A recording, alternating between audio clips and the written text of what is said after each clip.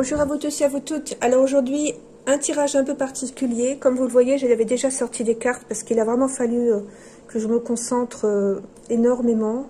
Alors je vais vous expliquer. En fait, je suis revenue sur l'affaire Lucas Tronche parce que je sais pas, j'ai senti que c'était le bon moment pour essayer d'en savoir plus. Hein, ce genre de, de, tirage, je le fais vraiment quand j'ai beaucoup d'énergie, je me sens vraiment bien et surtout je suis neutre, c'est-à-dire que j'ai pas forcément d'idée a priori. J'ai quand même été voir une vidéo que je trouve très intéressante. Je vous mettrai le lien sous ma vidéo. C'est celle de Lionel Camille, C-A-M-Y, qui a fait un reportage sur la disparition de Lucas. Et dans ce reportage, eh bien, il a émis plusieurs hypothèses que je trouve très intéressantes. Et donc, euh, eh bien, je me suis dit, tiens, mais peut-être que ce serait une bonne idée d'aller finalement tester aussi quelques hypothèses avec le jeu des questions-réponses.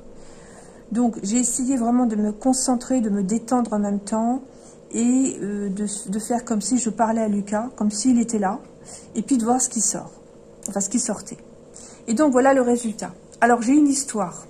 Alors je ne vous dis pas que c'est ça qui s'est passé, mais il y a quand même des choses intéressantes. Et puis vous direz ce que vous en pensez. Et il faut savoir aussi qu'à un moment donné, j'ai posé la question à Lucas en demandant si c'était ça. Et à ce moment-là, j'ai eu un ding dans mon téléphone. Quelqu'un qui m'a envoyé un message en fait. Hein. Et c'est comme si pour moi c'était un oui, hein, un petit peu les synchronicités. Alors, qu'est-ce que j'ai vu? Je vais essayer de bouger un peu le, téléphone pour que vous voyez un peu les cartes. Hein. On va essayer de voir, sans tout faire tomber. Alors, c'est pas facile, hein, donc je vais peut-être baisser un peu les cartes plus tôt. Alors déjà, je lui ai demandé s'il avait eu un rendez-vous. Je vais mettre un petit peu les cartes en dessous pour vous montrer ce que j'ai sorti. Donc, je lui ai demandé si, quand il a quitté sa maison, il devait aller à un rendez-vous. Alors, d'abord, la première carte que j'ai eue, c'est celle-ci. Là, en fait, pour moi, c'est plutôt Lucas qui était un petit peu en proie au doute. Bon, alors ça répondait pas à ma question. Puis ensuite, j'ai eu cette carte-là. Et donc là, pour moi, ça veut dire qu'il allait bien rencontrer quelqu'un quand il a quitté la maison. Donc oui, il avait un rendez-vous. Première réponse à ma question. La deuxième chose qui, euh, enfin, qui était sortie avant, en fait, hein, euh, là, j'ai pas pris les, choses dans le bon sens, c'était l'escalier et la piscine. Hein, quand, en fait, on sait maintenant qu'il devait aller à la piscine, c'était juste pour me dire qu'en fait, oui, j'étais euh, j'étais bien connectée, si je puis dire, et que là, il avait bien eu, normalement, l'intention d'aller à la piscine, et puis, il y a eu certainement le téléphone, puisqu'il était au téléphone avant, et ça a dû lui faire changer vies. Bon. Et là, la carte aussi, eh bien, oui, il avait un rendez-vous il fallait qu'il se dépêche. Mais bon, donc là, oui, pour moi, déjà, on a une information. Lucas devait aller rencontrer quelqu'un et on va voir euh, justement euh, si on peut avoir des informations sur cette personne. Ensuite, je lui ai demandé qui était cette personne. J'ai eu ça. Je vous la montre. Voilà, par là. Donc là, c'est quelqu'un qui est à l'écart des autres, pardon, à l'écart des autres et qui regarde des adolescents. Alors au début, je me suis dit, tiens, c'est peut-être quelqu'un que Lucas ne connaissait pas bien et euh, la personne était un peu à l'écart. Donc ça veut dire qu'en fait, il connaissait la personne, mais pas tellement bien, hein, pas très bien. Il la connaissait peut-être de vue. Bon. Alors ensuite, j'ai voulu en savoir plus.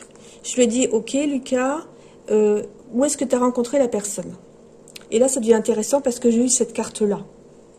Or, comme j'ai regardé l'émission de Lionel Camille, eh bien, au cours de cette émission, il a dit que la nounou du petit frère de, Lucas, euh, elle, avait remarqué que Lucas, tous les mercredis, prenait un chemin particulier pour rentrer chez lui, il passait par les vignes.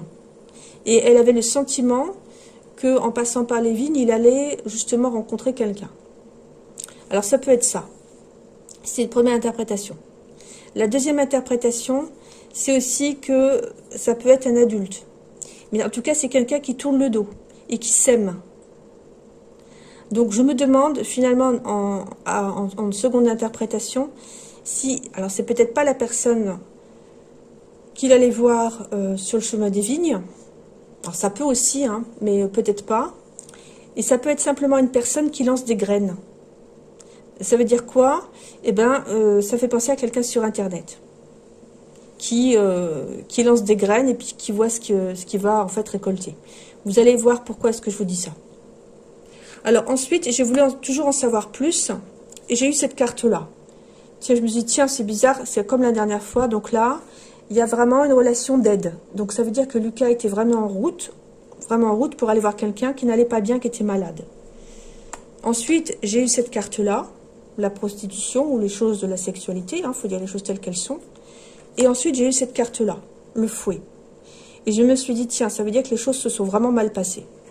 Puisque ensuite, j'ai eu euh, l'orage. Donc ça veut dire qu'effectivement, il y a eu de la colère, la peur ici. Et ici, le ciseau, la rupture. Je me suis dit, tiens, ça veut dire que Lucas, en fait, il voulait rompre avec la personne. Et puis ensuite, j'ai été chercher mes autres cartes, hein, cette fois c'est en français, et j'ai essayé d'avoir des, noms, enfin des, des mots, si vous voulez. Et donc, je lui ai demandé, ok Lucas, je lui ai dit, pourquoi est-ce que tu voulais aller voir la personne? Pourquoi est-ce que tu as donné, enfin, pourquoi est-ce que la personne t'a donné rendez-vous? Et là, j'ai eu douleur, victime, partager, mentir, devoir, succès étranger. vous pouvez voir ici l'essence. J'ai reconstitué l'histoire d'après ce que moi, je peux le ressentir par rapport à mon intuition.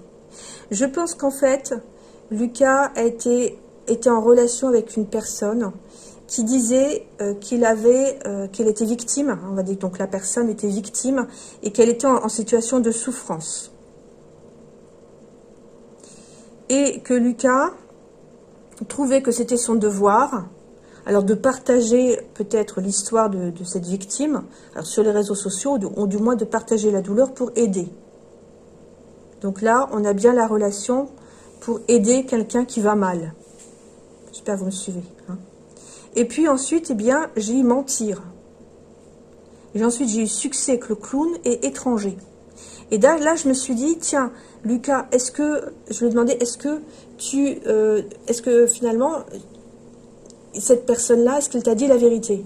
Est-ce que c'était la bonne personne que tu as rencontrée? Et là, j'ai eu ces cartes-là. Donc ça veut dire qu'en fait, ah, pour moi, d'après ce que j'en ai compris, il était en route donc pour aller aider quelqu'un qui n'allait pas bien, donc qui était en situation de souffrance, et que la personne n'était pas celle qu'il pensait rencontrer. D'où le clown. Le clown qui a effectivement eu du succès. Pourquoi? Bah, Parce que, en fait, euh, il a harponné Lucas. vous voyez ici que vous avez bien le mensonge et l'étranger. Alors ça, pour moi, c'est Internet.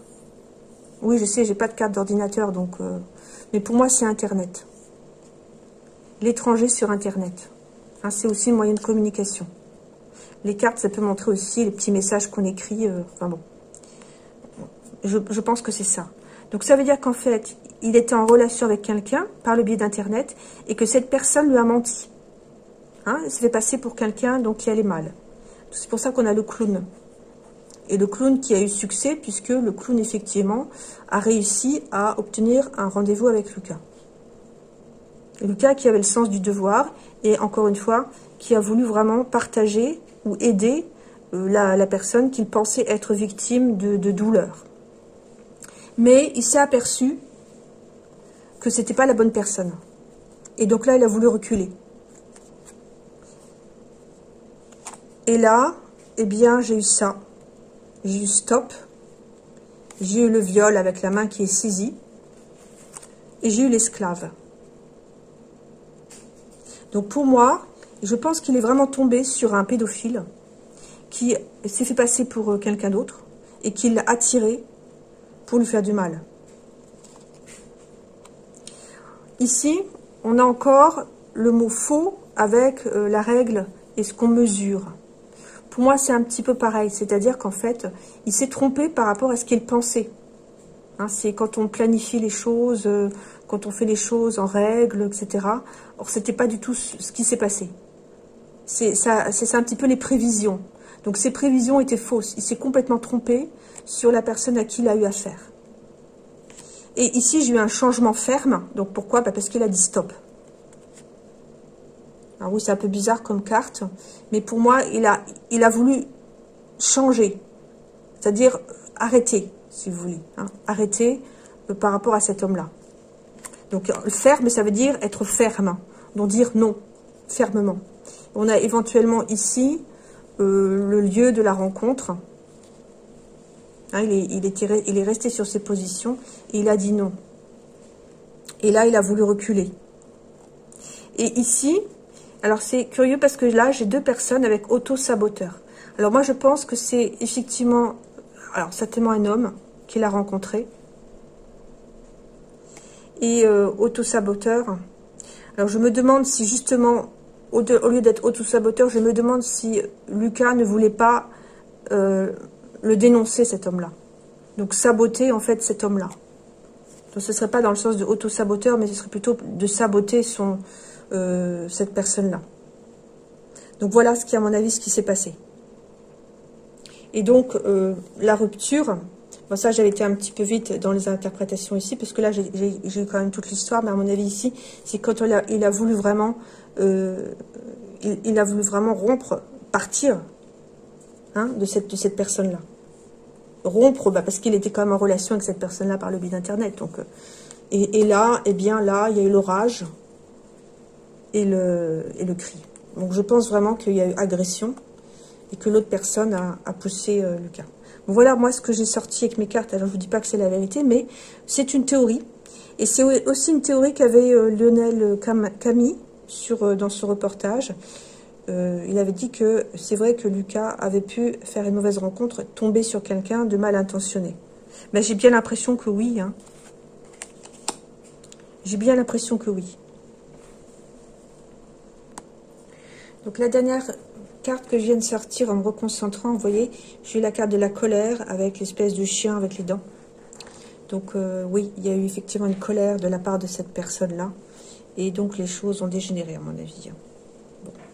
Donc en fait, on a des éléments que j'avais déjà trouvés dans la première vidéo où j'avais vu qu'en fait, il était parti pour aider quelqu'un qui avait des troubles psychologiques qui n'allaient pas bien.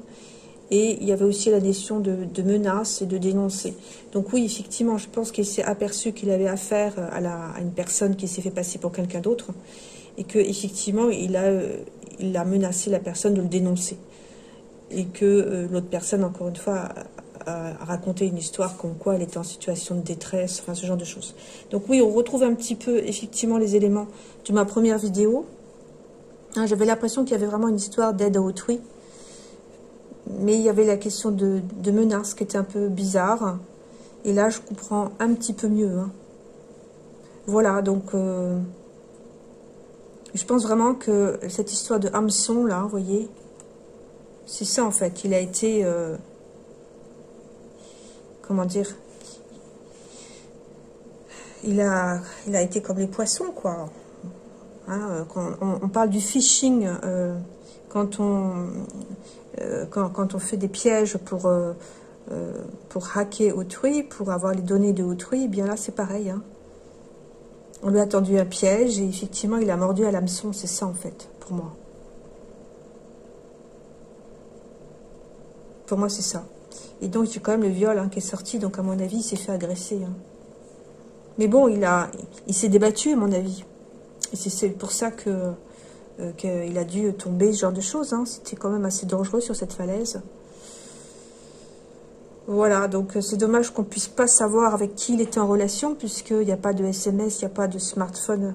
C'était sur les forums. Alors, je ne sais pas si on pourra euh, trouver avec qui il était en relation sur les forums. On, ne saurait que suffisamment dire aux jeunes de se faire attention avec qui ils sont en relation sur les forums puisque à mon avis, vraiment, je pense que, alors je dis pas que c'est la vérité, mais c'est quand même une hypothèse qui tient la route.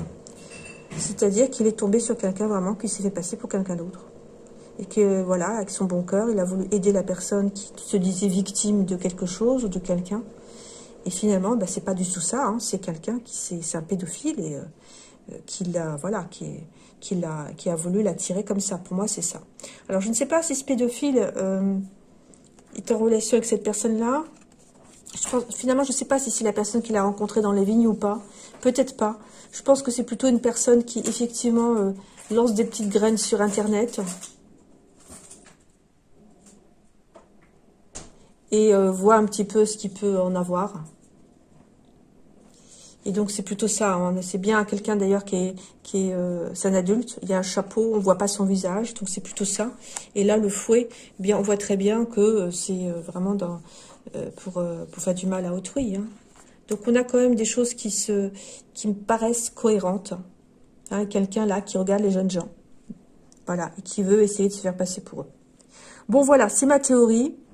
Il faut savoir qu'en astrologie, j'ai quand même des aspects de, comment dire, euh, amoureux, mais amoureux sur le mode euh, perversion. Voilà, cherchez le mot. Et pour moi, ça colle pas avec euh, Lucas. Hein, je pense pas que c'était un, Je pense que c'était un jeune homme très bien. Et ça, ça colle pas à son personnalité, à sa personnalité du tout. Par contre, si on remet ça en perspective avec ces cartes-là, eh bien, ça prend son sens. Voilà. Donc, c'est ma théorie. Elle vaut ce qu'elle vaut. Voilà, bah écoutez, euh, ce sera le dernier, le dernier tirage que je ferai sur Lucas. Après, on verra bien si les enquêteurs euh, arrivent à trouver des informations qui vont dans ce sens. Mais quelque part, moi j'ai l'impression que ça pourrait être ça. Hein, j'ai eu un ding sur mon téléphone, encore une fois, vous n'avez pas pu l'entendre, hein. mais au moment où j'ai demandé si c'était ça, j'ai eu un ding. Donc je me demande si quelque part c'était pas un oui. Voilà, bah écoutez, merci encore de votre fidélité et puis à bientôt. Au revoir.